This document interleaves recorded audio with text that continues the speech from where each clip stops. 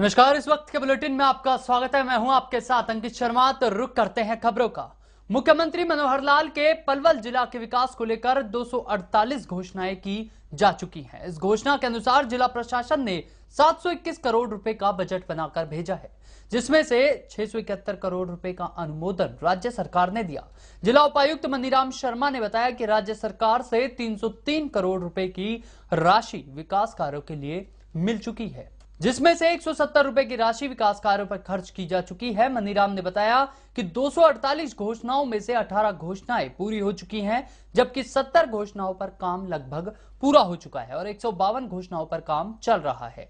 उपायुक्त ने बताया कि मुख्यमंत्री की इन घोषणाओं में सड़क बूस्टिंग स्टेशन, ड्रेन के सुधारीकरण, पशु चिकित्सालय, ब्लॉक बनाने सहित अन्य कार्य शामिल हैं।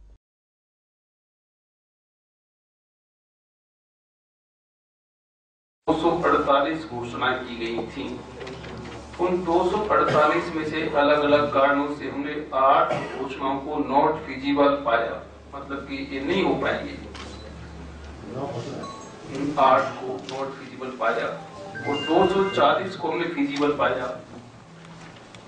इन 240 में से 18 को हम पूरी कर चुके हैं, जिनकी डिटेल में आपके साथ साझा करूँगा। अठारह को पूरी तरह कमीशन हो चुकी है। एक सौ पचपन, एक सौ बावन, एक सौ बावन पर काम चल रहा है, वो भी मैं आपके साथ शेयर करूँगा पेंडिंग है। और सत्तर का काम लगभग पूरा होने को है, वो भी मैं आपके साथ शेयर करूँगा।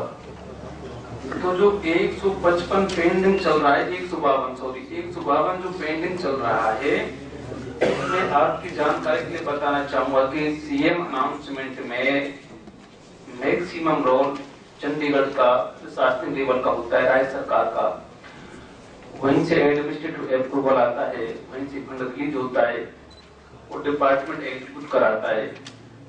तो दिग्विजय चौटाला गोहला चीका में जींद रैली का न्योता देने पहुँचे। इस दौरान उन्होंने नाम के लिए नाम लिए बिना ही रामपाल माजरा पर जमकर निशाना साधा और रामपाल माजरा को परिवार की महाभारत का शकुनी करार दिया। दिग्विजय चौटाला ने कहा कि आपके ज़िले का एक बड़ा नेता पार्टी में अपनी पैठ बनाने के लिए कार्यकर्ताओं और पार्टी के बीच ठेकेदार का काम करता था। लेकिन अब जो 90 प्रतिशत लोग जो आईएनएलडी को छोड़कर हमारे साथ आ गए हैं, उन्हें ठेकेदार की आवश्यकता नहीं पड़ेगी। वहीं दिग्विजय चौटाला ने अभय चौटाला पर कटाक्ष करते हुए कहा कि लोगों को गरम दल के सीएम की आवश्यकता नहीं है, जिससे कार्यकर्ताओं को अपने कार्यों के लिए नेताजी के मूड पर निर्भर रहना पड़े। साथ ही दिग्विजय चौटाला ने कहा कि हमने अभय को भी कभी गुंडा नहीं कहा, अभय चौटाला खुद को ही गुंडा मानकर चल रहे हैं, और न ही कभी उन्होंने अभय चौटाला को दुर्योधन कहा है। ये शब्द उन्होंने समय के लिए प्रयोग किया है। आईएनएलडी जो है वो मैं ये मान करके चलता हूँ कि कुछ लोगों ने उस आईएनएलडी को खोने का काम किया है आईएनएलडी के अस्तित्व को मिटाने के लिए आज जो पार्टी में आईएनएलडी के अंदर हैं लोग उनमें से भी कुछ ऐसे हैं जो आ, कुछ लोगों के इशारे पर काम कर रहे हैं। और मुझे तो ये बहुत गहरी साजिश नज़र आती है। मुझे तो ये किसी बड़ी पॉलिटिकल पार्टी की और बहुत गहरी साजिश नज़र आती है जो जिन लोगों ने संकल्पबद्ध तरीके से एक ही काम किया भाई इस परिवार को पहले तोड़ो, उसमें वो कामयाब रहे। अब वो ये मान करके चलते हैं कि वो आईएनएलडी पे कब्जा कैसे करें।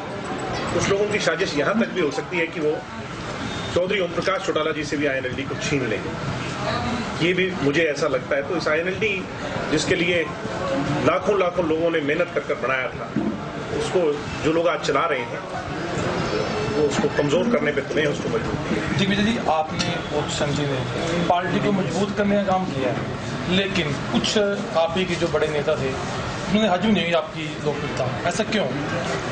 अब ये तो वो बेहतर बता सकते हैं।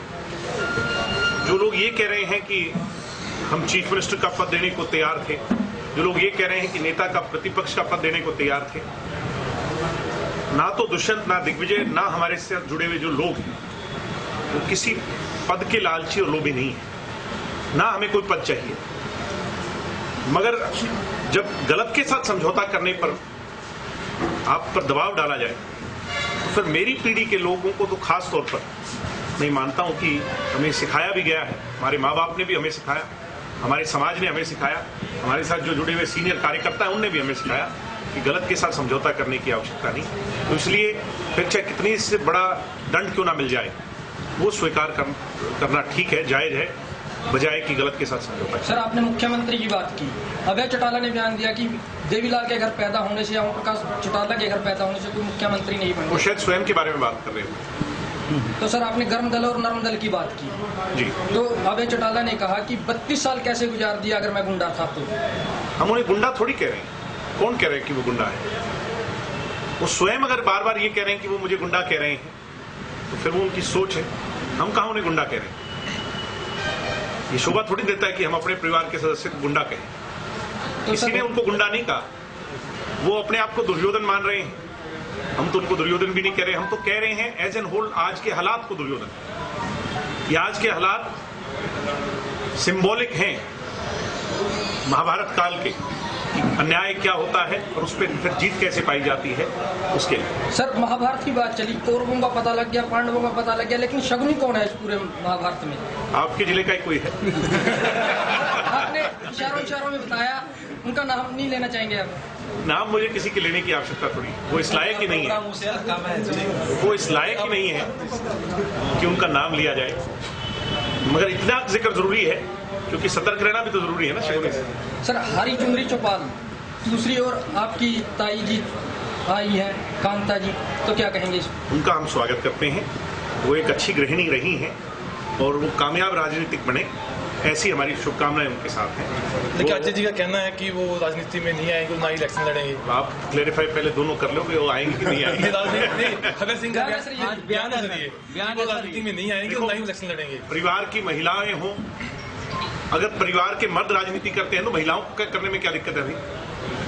इसका मतलब तो फिर वो सप्रेस करने वाली बात होगी।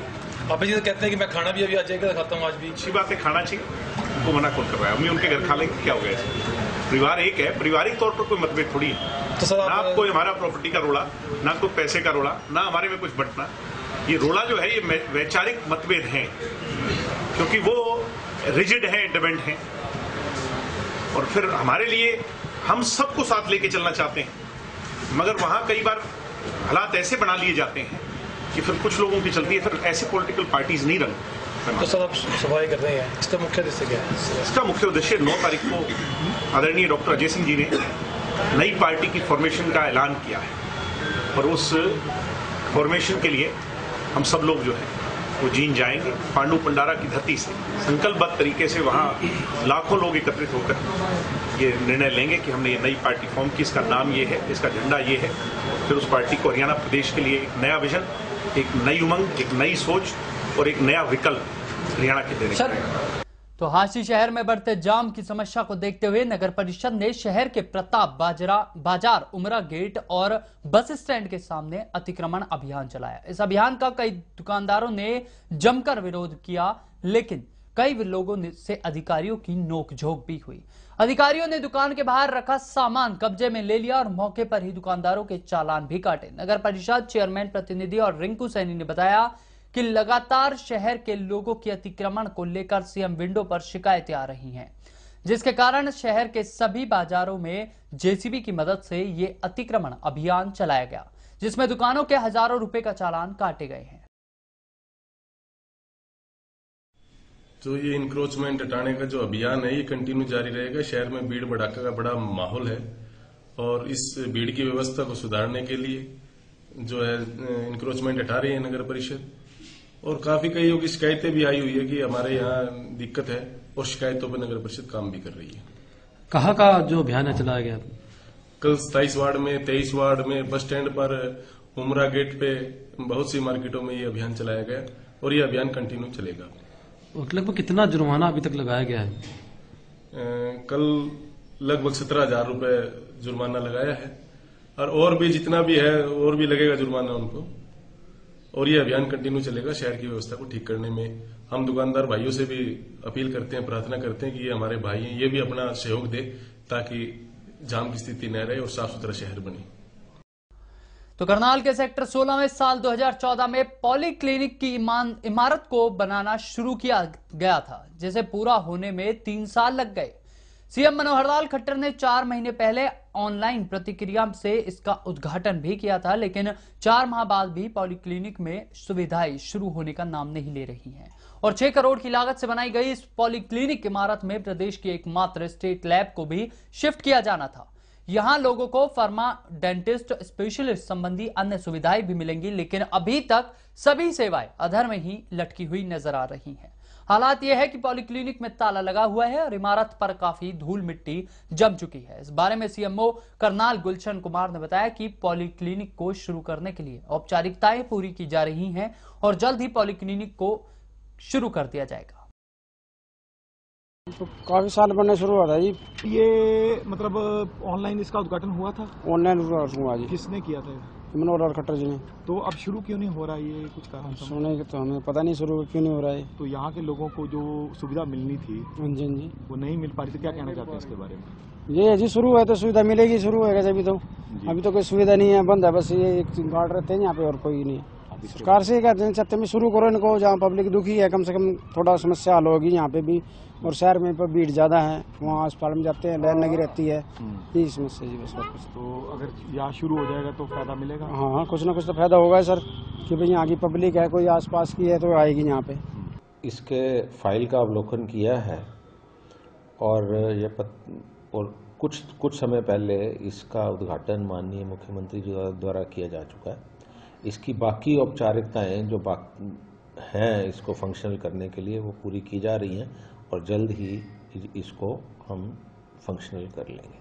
तो इसमें क्या क्या फैसिलिटी डॉक्टर साहब रहेंगी जहाँ तक अ, मैंने देखा है इसमें एक पॉली क्लिनिक बनना है और मेरे संज्ञान में ये भी आया है कि इसके एक फ्लोर में रेफरेंस लेबोरेटरी शिफ्ट करने का भी प्रावधान किया गया है। बाकी डिटेल्स जो मौके पे इसका निरीक्षण करके और जो भी संभव है वो हम जल्दी करेंगे।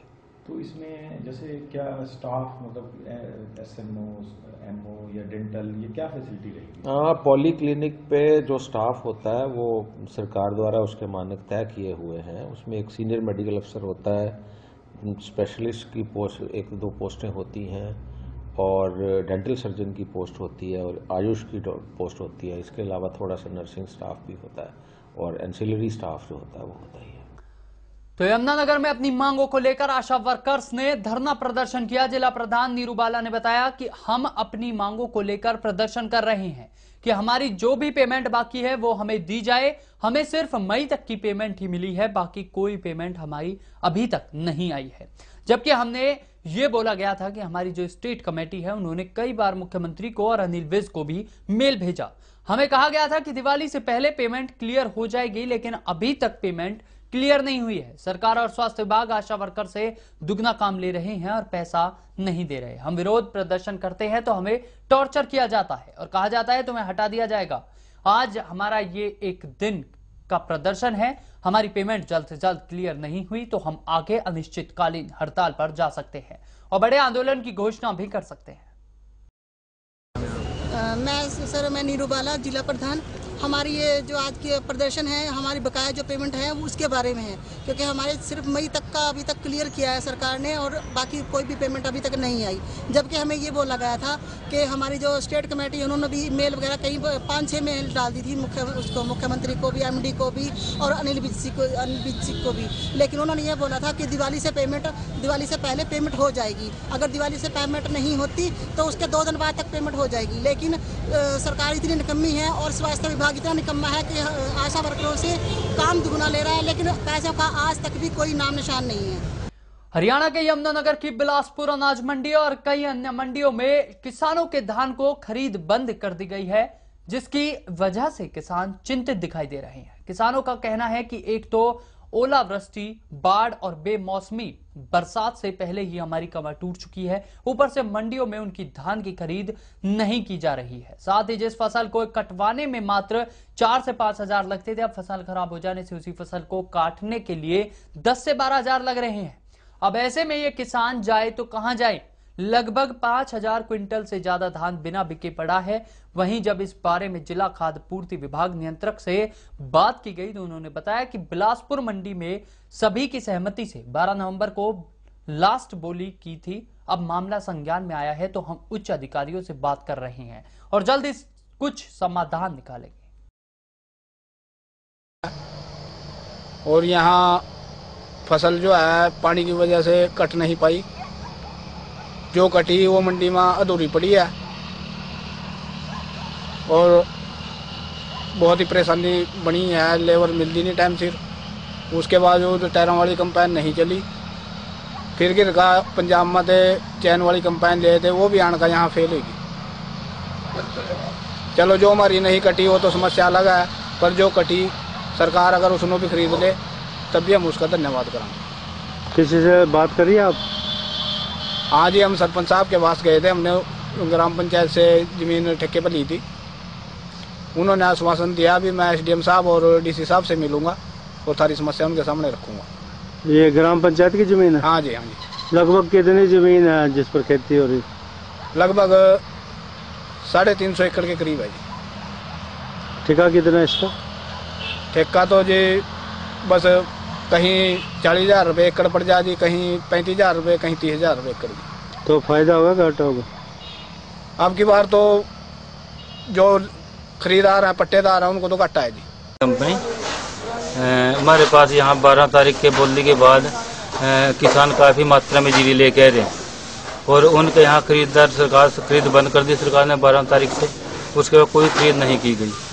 और उसके जो लेके आ रहे हम इसको सफ़ाई कर रहे। सफ़ाई करके क- मतलब कट्टे में पैक के वैसे रख रहे हैं बिना किसी सेल के। यदि किसान खरीदती है तो सरकार किसान को पूरा रेट मिल जाएगा इसका।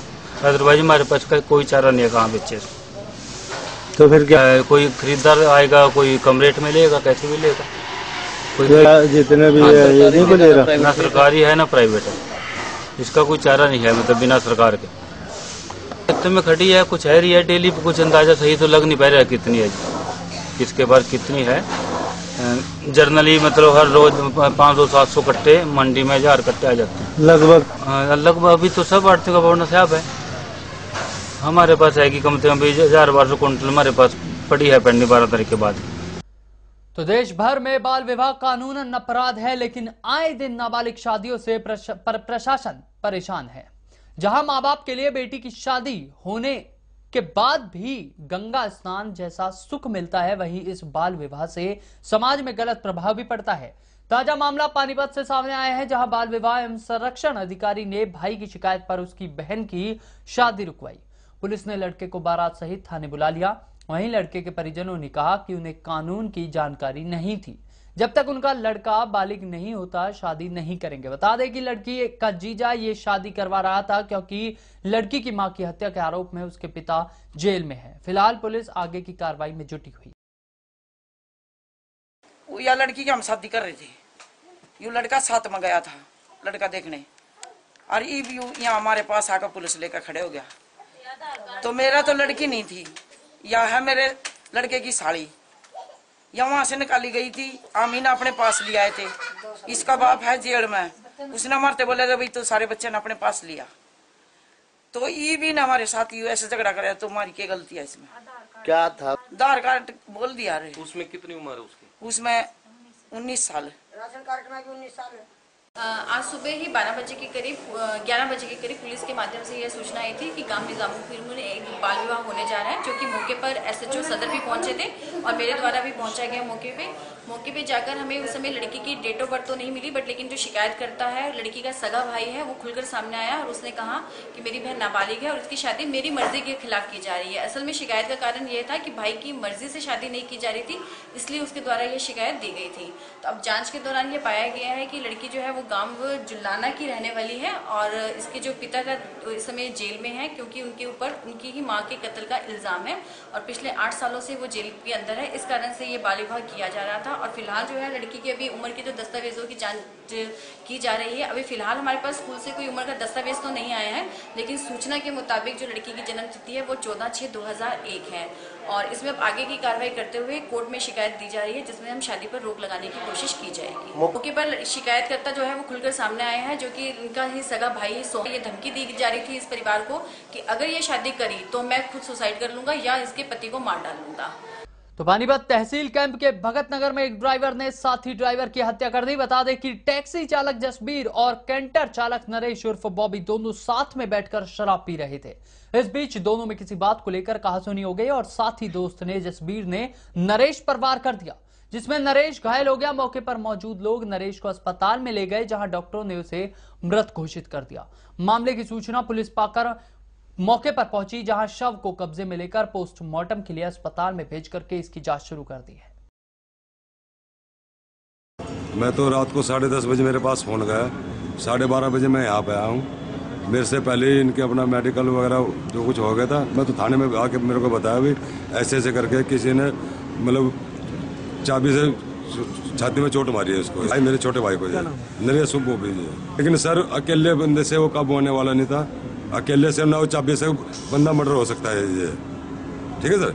गाड़ी की चाबी से कोई मर्डर होता तो मेरे को बता दीजिए ना ये और उसके बाद दो चार बंदे होंगे उसके साथ जब उस पर हमला बुलाया घर से बुला के उसको दारू पिलाई गई पहले ये नरेश उर्फ़ बोबी सनॉफ सौ बाराम अ, विकास नगर तहसील कैंप का रहने वाला था। अपने दोस्त के साथ बैठ के इन्होंने ड्रिंक करी थी और फिर इनकी आपस में लड़ाई हो गई थी। लड़ाई के दौरान इसकी मौत हो गई। इनकी पहले भी आपस में रंजिश थी एक के खिलाफ। उसके भाई ने आरोप लगाया कि मारने वाला एक ही कोई और भी हो सकता उसके साथ ने उसके जीजा के बयान पे मुकदमा दर्ज कर किया है और जो उन्होंने वहाँ पर थोड़ी देर में जैसे उनकी लड़ाई हुई थी उसके बाद वो आ गई थी वहाँ मौके पे उन्होंने बताया था कि दो बंदे के आपस में लड़ाई हुई। गिरफ्तारी अभी बकाया चल रही तफ्तीश जारी है। तो वर्चस्व की जंग में किन्नर गुटों में तनातनी इतनी भयानक हो गई कि इस लड़ाई ने एक की जान ले ली। दरअसल गुरुग्राम पुलिस को कंट्रोल रूम के ज़रिए सूचना मिली थी कि खिड़की दौला टोल के पास ही दो किन्नर गुटों में विवाद के चलते रजनी किन्नर को एक के बाद एक तीन गोलियाँ मारकर मौत के घाट उतार दिया। जिसके बाद मृतक रजनी के परिजनों की शिकायत पर मीनू किन्नर गुट के खिलाफ पुलिस ने मामला दर्ज कर जाँच शुरू कर दिया। बता दें कि दोनों गुट अवैध वसूली यानी कि बधाई के तौर पर वाहन चालकों से पैसे मांगने के लिए आमने सामने थे, जहाँ देर रात ये जंग इतनी तेज हो गई कि दूसरे किन्नर गुट ने रजनी पर एक के बाद तीन गोलियाँ चला दी। जिसके बाद उसकी मौके पर ही मौत हो गई। बहरहाल पुलिस ने आरोपी गुट के सात किन्नरों को गिरफ़्तार कर लिया और बाकियों के में की तलाश में जुटी है।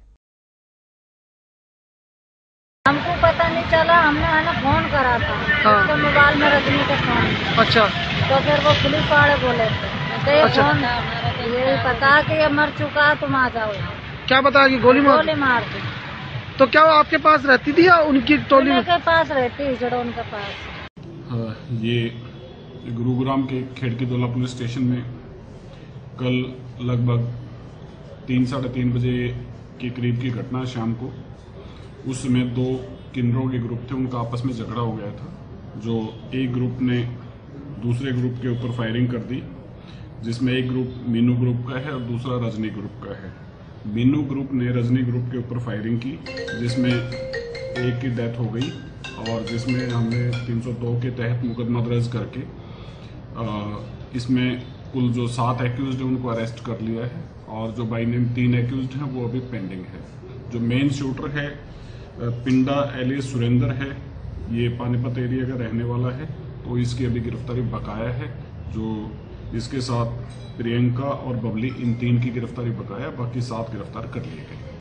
तो टोहाना में कांग्रेस पार्टी के नगर निगम के चुनाव सिंबल पर न लड़े जाने पर टिप्पणी करते हुए सुभाष बराला ने कहा कि बीजेपी सरकार की लोकप्रियता के चलते कांग्रेस पार्टी मैदान छोड़कर भाग रही है। इसके अलावा उन्होंने कहा कि अन्य पार्टियाँ इसमें बात में से खलबली मची हुई है। बीजेपी सरकार को बराला ने किसान मजदूर हितेशी सरकार बताते हुए कहा कि किसानों को अन्य योजनाओं के तहत लाभ देने का प्रयास किया जा रहा है, जिसका लाभ किसानों को सीधे तौर पर मिल रहा है। धान के अवशेषों को जलाने वाले किसानों जुर्माने में राहत की बात पर उन्होंने कहा कि इस पर भी अभी विचार नहीं किया गया है।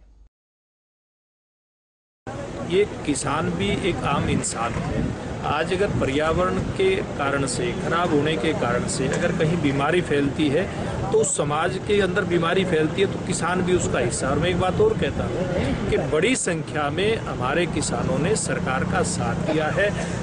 विभागों के लोग गए हैं जब ये बात लेकर के कि पराली नहीं जलानी तो बड़े पैमाने पर किसान हमारे साथ खड़े हुए। उनको धन्यवाद भी करता हूँ। और बाकी जो किसान जिन्होंने पराली जलाई आपके माध्यम से मैं ये अपील भी करता हूँ कि वो जो पर्यावरण का नुकसान हो रहा है हमारी ज़मीन का नुकसान हो रहा है उसको बचाने के लिए वो भी साथ आए इस वक्त के बुलेटिन में अभी के लिए बस इतना ही। बने रहिए हमारे साथ और देखते रहिए। नमस्कार।